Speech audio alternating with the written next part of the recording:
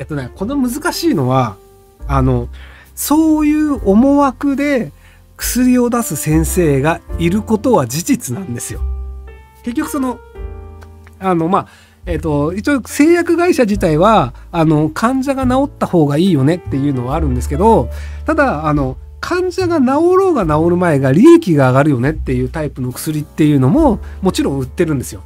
で、あの、その薬バンバン出すと儲かるよねって考える先生もいるんですよ。なので、その弟さんが言ってる、その精神科の薬は製薬会社と精神科医のためにやってるっていう人もいるんですけど、日本だと少数派だと思います。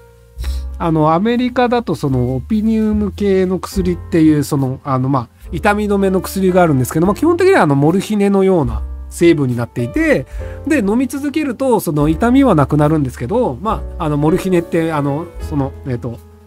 ヘロインと同じ材料でアヘンモルヒネヘロインってあの同じ植物から作られるんですけどなのでそのヘロイン中毒と同じような状態になっちゃうんですよね。合成オピオイドすいません。でその合成オピオイドの薬って1回飲み始めるとやめんのめちゃめちゃ大変なんですよ。まあ、その要はアヘン中毒とか、あの、まあ、そのヘロイン中毒の人が治すの大変っていうのと一緒で、一回飲み始めると、ずっと飲み続けるので、精神科の先生って処方するのと、ずっと薬買ってくれるから、超絶便利なんですよ。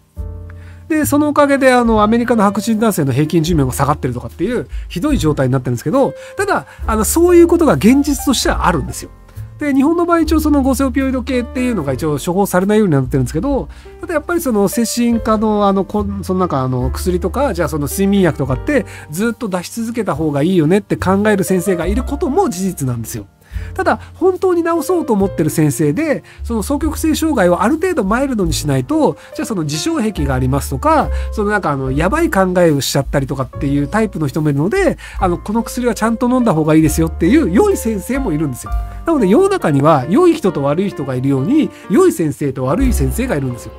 なので、もしその、その精神科の先生がなんか儲けてるためにやってるっぽいなって見るのであれば、先生変えてください。